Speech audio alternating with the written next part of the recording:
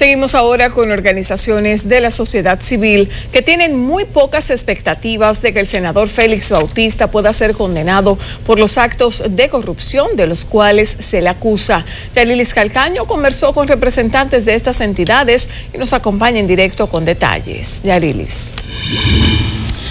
Muy buenas tardes y ciertamente con la reanudación de la audiencia preliminar en el caso que se le sigue al senador Félix Bautista, estas organizaciones de la sociedad civil no creen que finalmente se logre hacer justicia. Por un lado, la Alianza Dominicana contra la Corrupción, entidad que en su momento se ha querellado contra el senador, cree que el Ministerio Público no ha dado muestra de ser lo suficientemente capaz instrumentando la acusación y llevando el debido proceso, razón por la cual cree esto podría favorecer al senador.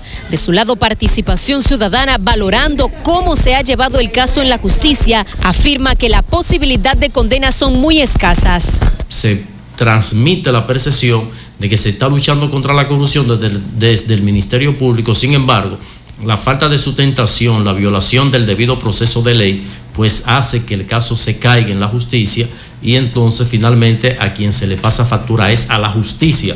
Por las valoraciones que no solamente ha hecho participación ciudadana, la ciudadanía y las valoraciones de toda la trayectoria del sistema de justicia, aparente, aparenta que puede quedar la impunidad triunfando. Sin embargo, nosotros siempre hemos dicho que lo peor que puede tener un servidor público es la sanción moral. El magistrado Alejandro Moscoso Segarra, juez de la instrucción especial de la Suprema Corte de Justicia que sigue este caso, ha fijado para las 3 de la tarde la continuación de esta audiencia preliminar que todavía está en fase de los incidentes. Es toda la información, ahora retorno con ustedes. Gracias Yarilis a ti por reportarnos.